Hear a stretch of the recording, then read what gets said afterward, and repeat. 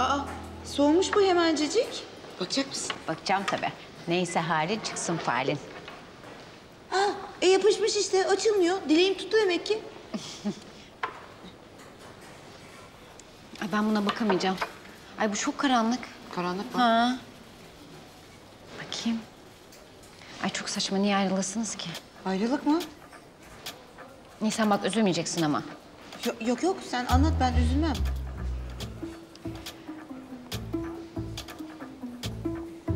Senden bir şey saklıyorlar. Kim? Nisan bana doğruyu söyle. Abimle aranızda kötü bir şey yok değil mi? Ay, yok canım, orada var mı gözüküyor? Adında S olan bir kadın görüyorum. Ha ben işte, benim de adımda S var. Yok yok. Baş harfi S. Böyle panter gibi yapışmış abime. Ee, Sinan ne yapıyor? Ama ben kendimi kötü hissediyorum böyle abimin arkasından dedikodu yapıyormuş gibi. Ya göstersen bana bakayım şu kadını. Göster göster, göster. Bak şurada görüyor musun? Ha. E o da Sinan. Evet. E bunlar sarmaş dolaş. Aynen. Aman. Ne demişler? Fala inanma, falsızda kalma. Boş ver sen. Öyle mi diyorsun? Ay tabii canım. Ya abimle nasıl tanıştınız bana anlatsana. Ay yok ya. Ay boş ver, uzun hikaye. E var vaktimiz. E, tamam an- anlatayım. A- anlatayım ama önce şu yüzüğü takayım. Yani kaybolur maybolur. Maazallah değerli bir şey. Yani yanlış anlama. E, şey maddi değerinden bahsetmiyorum. Manevi olarak çok değerli olduğu için.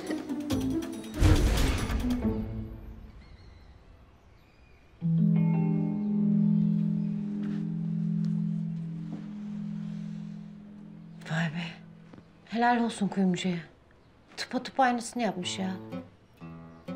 Bu yüzük benim hakkım. Kimseye vermem.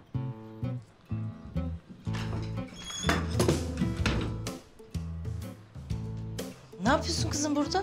İyi, hiçbir şey. Gene yüzeye bakıyorsun değil mi? Ya çocuğum e, yani bin kere söyledim sana. Bu yüzük ailenin erkeklerine ait. Deden babaannene taktı.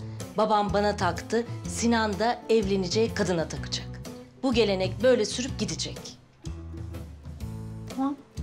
Şey demedim. Yani birazcık gözüm kaldı ama ne yapayım? İşte böyle senin anlayacağın. Yani ilk zamanlar durum birazcık karışıktı. Ay, Çok acayip hikayeymiş ha. Sıcak sıcak 50 kuruşa poğaça. Bu üçkağıtçı kantinci Ayhan'ın iğrenç tostlarından, sağlıksız poğaçalarından iyidir. En azından organik. Gel bakalım poğaçalara gel. Bir tane alabilirim. Hemen vereyim kardeşim bir tane sana. 50 kuruş alayım. Para üstü vereceğim bir dakika. Şöyle vereyim. Teşekkürler kardeşim. Kaç tane istiyorsun abi? Üç tane hemen verdim gitti maşallah. Üç tane efendim. Abidin, oğlum ben şu koyduğum sermayeyi çıkartabileceğim değil mi? Görmüyor musun oğlum? Çıkaracaksın tabii. Çatır çutur satıyoruz. Şöyle alayım. Teşekkürler efendim. Oğlum bir kağıda mağda yazsana. Hesap tutmayacak sonra ya. Hiç gerek yok. Abidin süper zekası buraya yazıyor. Senin gibi unutkan mıyız oğlum biz? Hadi uza artık yeter ya sıkıldım senden. Tamam. Ablacığım kaç tane? Ben. Dört tane İki tane alayım. Oğlum öldüreceğim seni ha yeter ya bitirdin. Asuman alayım da o da yer. Senden ortak mortak olmaz şişko. Dört tane ablacığım hemen vereyim. Büyüklerden verdim para üstü vermeyeceğim. Al bakalım hadi. Oo Nisan hocam hoş geldiniz. Buyurun. Teşekkürler Nisan hocam.